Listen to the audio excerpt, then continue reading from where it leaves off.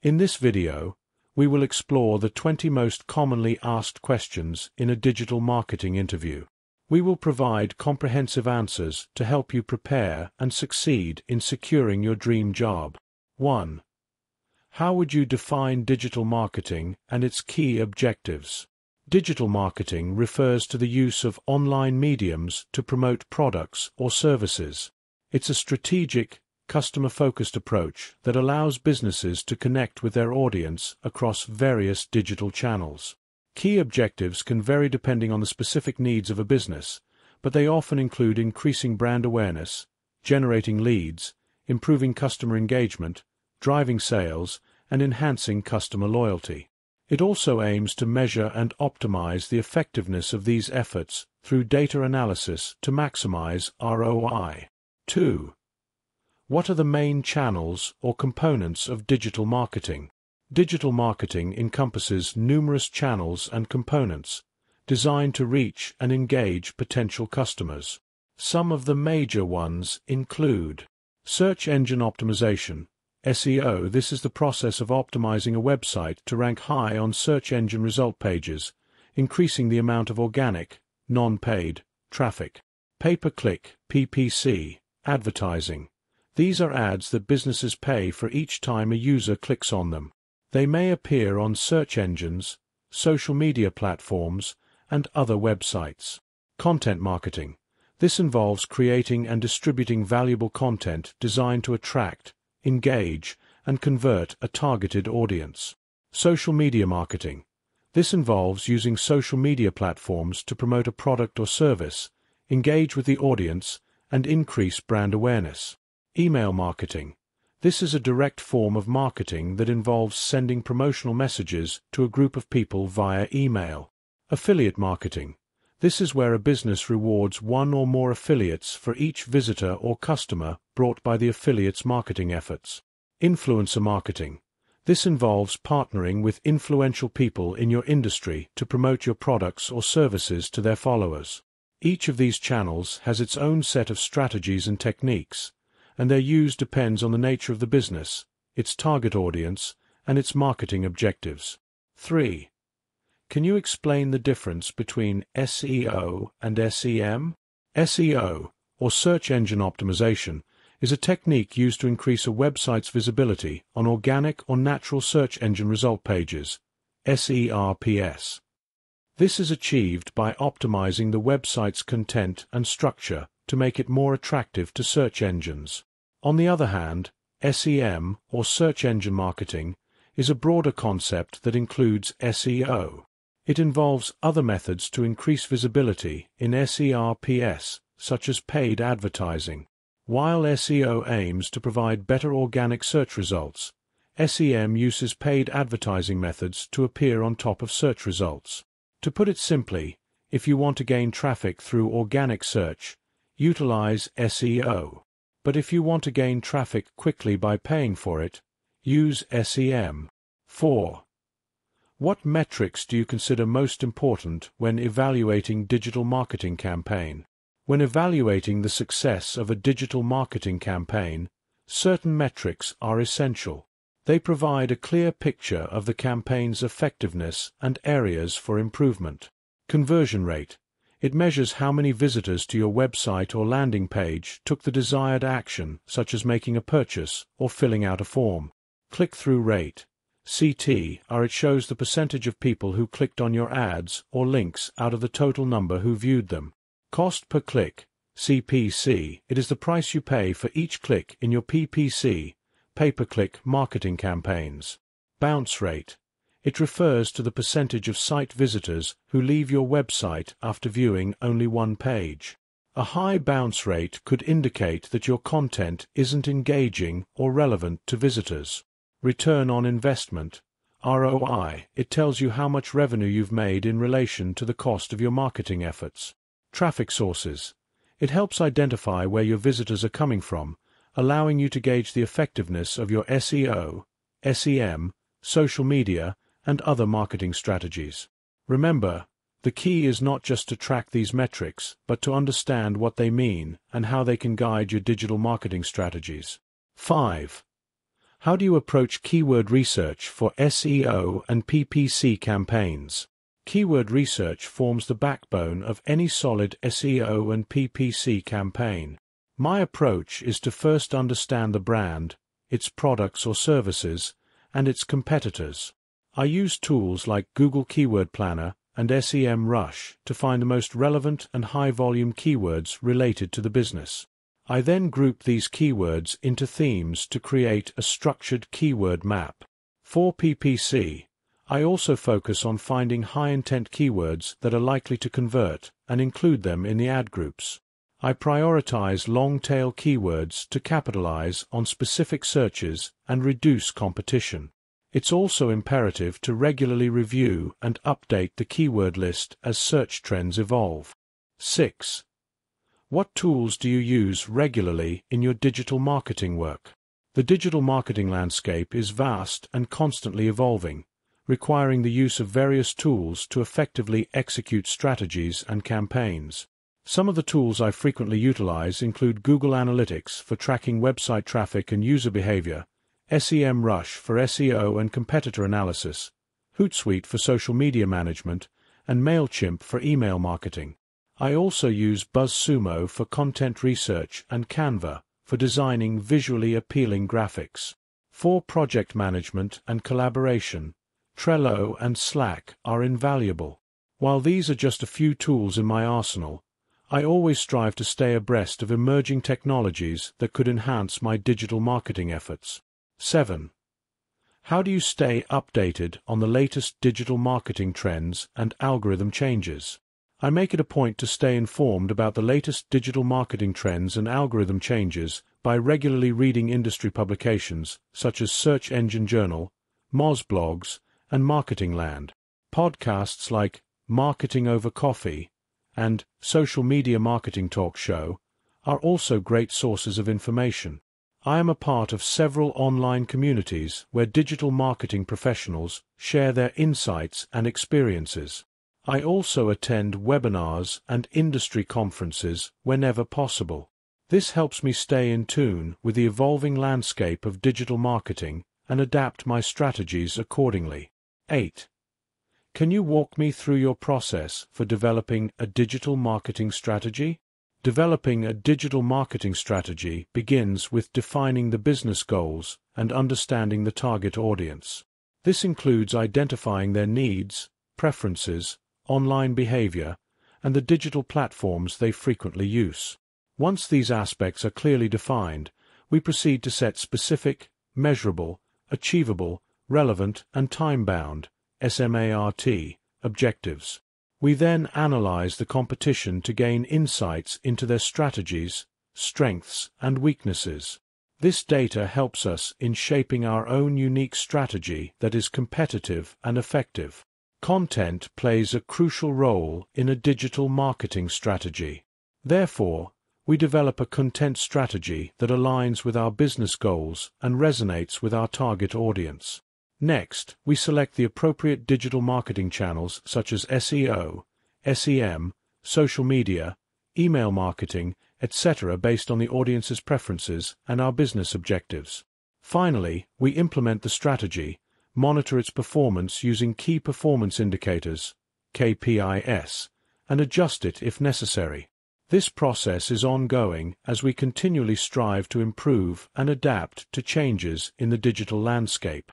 Note, each strategy is tailored to the specific needs of the business and its audience, so this process can vary. 9. What's your experience with content marketing? How do you measure its success?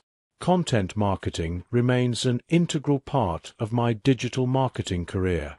My experience spans across various industries, where I've crafted and executed multiple effective content strategies.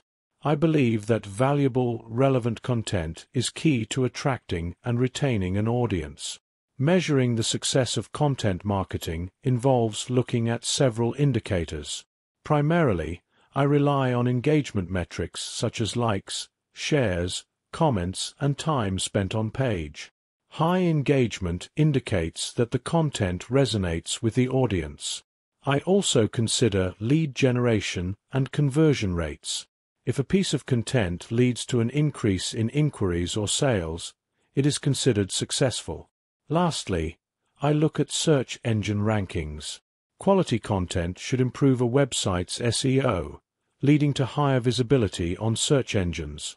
Remember, the ultimate goal of content marketing is to provide value to the audience while achieving business objectives. 10.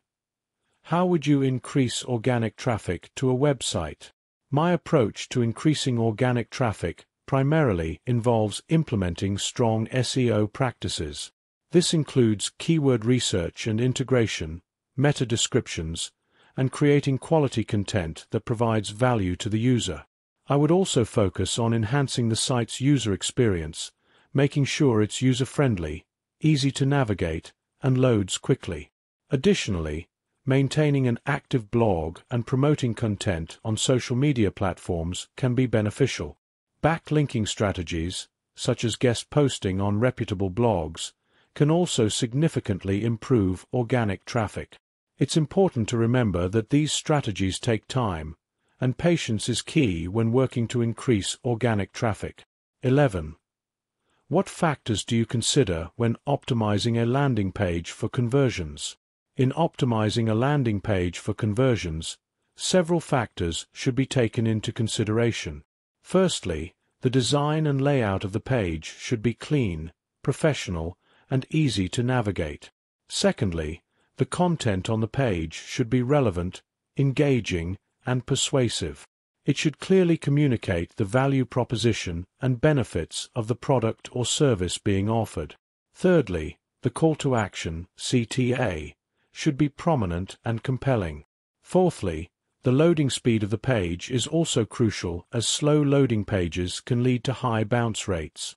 Lastly, the page should be mobile-friendly as a significant number of users access websites on their mobile devices.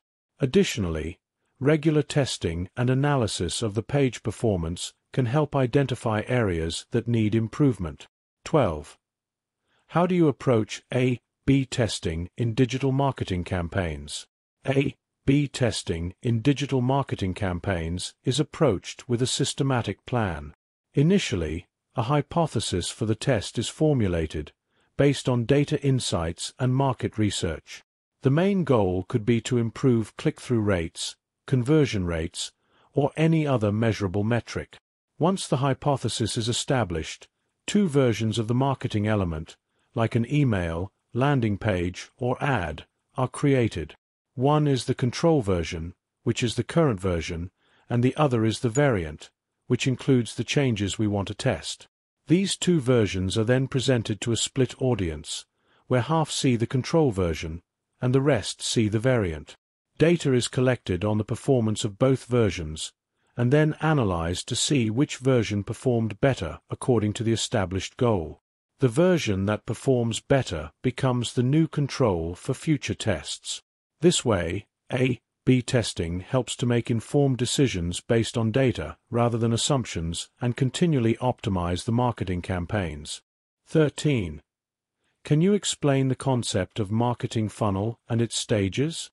A marketing funnel is a strategy that involves guiding potential customers through different stages until they make a purchase. It's typically divided into four stages. 1. Awareness. This is the initial stage where potential customers become aware of your product or service. This stage involves reaching out to a broad audience through various marketing channels. 2. Interest. At this stage, potential customers have shown interest in your product or service. They might follow you on social media, sign up for your newsletter, or visit your website. 3. Decision. Here, potential customers are considering a purchase. They are weighing their options and comparing your offering to others. 4. Action. This is the final stage where potential customers make a purchase. Effective strategies at this stage can include offering discounts, free shipping, or a bonus product. Remember, after a purchase, it's important to continue engaging with customers to encourage repeat purchases and referrals. The marketing funnel concept is essential in digital marketing as it helps businesses understand customer behavior, tailor their marketing strategies, and optimize conversions. It's a tool that guides the customer journey, right from the first point of interaction to the final purchase. Understanding each stage allows marketers to tailor their approach, ensuring they deliver the right message at the right time, ultimately driving sales and fostering customer loyalty. 14. What strategies do you use for improving email open rates and click-through rates? Improving open rates and click-through rates requires a multi-pronged approach. First, it's crucial to understand your audience. This means conducting research, gathering data, and identifying patterns. Second, compelling subject lines are a must. They should be clear, concise, and engaging. They should also give a hint of what the email contains, piquing the reader's curiosity. Third, the email content should be relevant and valuable. The more it resonates with the audience, the more likely they are to click through. Fourth, personalization can significantly increase both open rates and click-through rates. This could involve simply using the recipient's name or tailoring the content to their interests or past behavior. Finally, testing and analyzing results can help identify what works and what doesn't. This can inform future strategies and lead to continual improvement. 15. How do you measure ROI in digital marketing? To evaluate the return on investment, ROI, in digital marketing, I prefer to use several key metrics. It's essential to monitor conversion rates, customer acquisition cost, CAC, customer lifetime value, CLV, and sales revenue generated from digital marketing efforts. These metrics provide a clear picture of the financial impact of marketing activities. For example, by comparing the CAC with the CLV, I can determine if the marketing investment is profitable in the long run. If the CLV is significantly higher than the CAC, it means that the marketing efforts are paying off. Additionally, I consider the sales revenue generated from digital marketing campaigns. If a campaign leads to an increase in sales, it's a clear indication that the campaign is effective.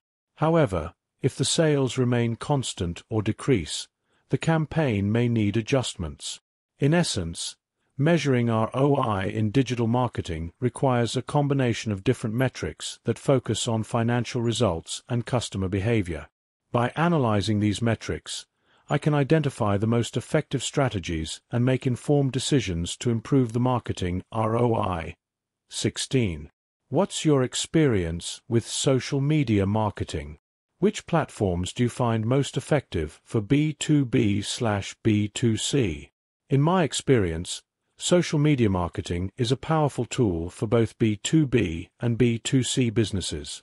For B2B, LinkedIn has proven to be highly effective due to its professional nature, allowing companies to connect, network, and share content with other businesses. Twitter also has its merits for B2B, particularly for sharing industry news and updates. On the other hand, B2C marketing tends to thrive on platforms like Facebook and Instagram. These platforms offer a more casual environment, making it easier to engage with customers and create a brand personality. Instagram, specifically, is great for visual content, making it ideal for industries like fashion, food, or travel. Facebook's broad user base also makes it a versatile platform for reaching a wide range of consumers. In terms of effectiveness, it truly depends on the industry and target audience. It's imperative to understand where your target audience spends their time online and tailor your social media strategy accordingly. 17. How do you handle negative comments or feedback on social media? Handling negative feedback on social media requires tact and a customer-centric approach. My first step is always to acknowledge the comment and thank the user for their input, as this shows that their opinion is valued. I then strive to address their concerns in a respectful, understanding, and professional manner. It's important not to get defensive or argumentative. If necessary, I would take the conversation to a private channel like direct message or email. Sometimes, Negative comments can provide valuable insights into areas for improvement. Therefore, I view them as an opportunity to learn and grow. 18. Can you explain the importance of mobile optimization in digital marketing? Mobile optimization is crucial in digital marketing due to the increasing number of users accessing information through their smartphones. Websites and digital content must be designed to fit and function properly on small screens, ensuring a positive user experience. This includes easy navigation, quick loading times, and clear, concise content. Google also prioritizes mobile-optimized sites in its search rankings, making it an essential component of effective SEO strategy. Additionally, mobile optimization allows marketers to reach their audience wherever they are, providing greater opportunities for engagement and conversion. Without proper mobile optimization, businesses risk losing potential customers who may become frustrated with a poor mobile experience and look elsewhere. Therefore, it's not just a nice to have, but a must have in any digital marketing plan. 19. What's your approach to creating a content calendar? Creating a content calendar requires strategic planning and meticulous organization. Initially, I identify key dates, themes, or events relevant to the business that can be incorporated into the content. Then, I research trending topics or keywords related to the identified themes. Subsequently, I craft a content plan that includes the type of content, the platform it will be published on, and when it will be published.